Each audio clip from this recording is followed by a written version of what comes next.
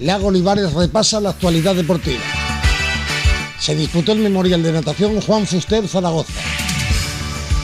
Nos visitó Diego León, juvenil del Benidorm Club Deportivo.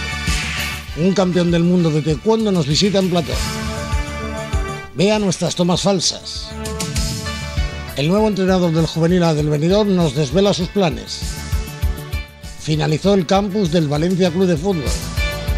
El presidente del Benidorm afronta la temporada con ilusión.